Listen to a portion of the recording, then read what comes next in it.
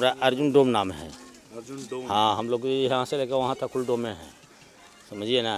अच्छा तो हम लोग का तो दिक्कत यही है सर कि से हम लोग को भवन बनाने का हम लोग छोटा जात के हैं कोई हम लोग का जो है कि स्कूल नहीं देता है बारात आता है शादी ब्याह में ना ना कोई हम लोग का स्कूल देता है। कैसे पता चलती है तुम्हारी जात छोटी है?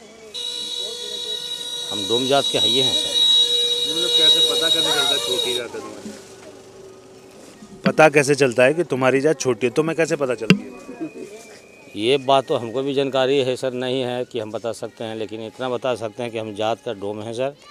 हम लोग जो है नगर निगम में तो झाड़ू भाड़ू कोई बताता है तुम्हें? किताब में पढ़ा था कहाँ पढ़ी थी बात तुमने कि तुम्हारी जाति छोटी है? ना ये बात तो हम नहीं बोल रहे हैं सर कि हम जात छोटा है लेकिन डोम तो हमारा छोटा जात। छोटा जात नहीं बोल रहे हैं सर हम डोम डोम है सर। डोम समाज तो बड़ी ऊँचा है सर हमें मुँह में आग देते हैं तो सारा दुनिया जो है शुद्ध होता है। समझिए ना वो डोम है हम। तो हम लोग का कोई चीज़ का साधन यहाँ पर नहीं है सर। क्यों नहीं सुनता है तुम्हारी बात? तुम डोम जाती हो इसलिए नहीं सुनते? जी हाँ हम लोग मजबूर हैं जाहिल हैं पढ़ा पढ़ा लिखल नहीं है विधायक है यहाँ का विधायक है डॉक्टर सुनील जी। अच्छा तो तुम्हारी जाति के चक्कर में हो तुम्हें हाँ छोटा जात के समझ के हम लोग का कोई ध्यान ही कभी देवे नहीं करता है।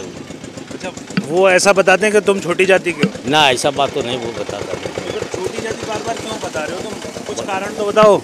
जैसे मैं बोलूँ कि मैं छोटी जाति का हूँ तो मुझे पता मतलब कैसे पता चला ये बात? ये पूछ रहा हूँ हम ये नहीं कर रहे हैं कि छोटा जात सर हम ये कर रहे हैं कि डोम जात हम हैं और गरीब हैं जाहिल हैं हम लोग का पढ़ा लिखल कोई है नहीं।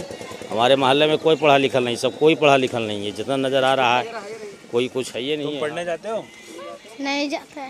नहीं जाते? क्या करते हो पूरे दिन? बैठा रहता घर में। कहाँ? घर में बैठा रहता है। घर में बैठे रहते हो? और पानी कहाँ से लेने जाते हो? बोरिंग पास से नहीं जाता है। और नहाने?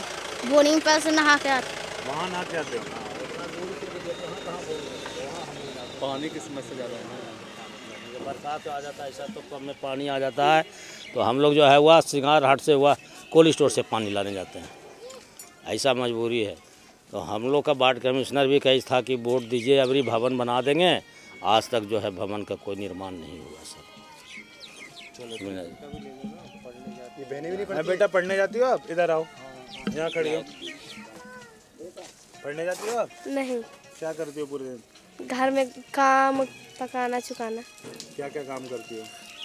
कपड़ा लत्ता सब खींचते कपड़ा लत्ता धोना करना है? हाँ। अच्छा और कब? घर पे धोती हो कपड़े? हाँ पानी नहीं। कहाँ से आता है? वहाँ से। इतना सारा पानी कैसे लाते हैं वहाँ से? तसला से। अच्छा तसला से वहाँ से पानी यहाँ लेकर फिर कपड़े धोते हैं। और नहाने के लिए भी वहीं से? तो मुझे नहीं पता तो पूछ रहा तब कह दिया। चलो ठीक थैंक यू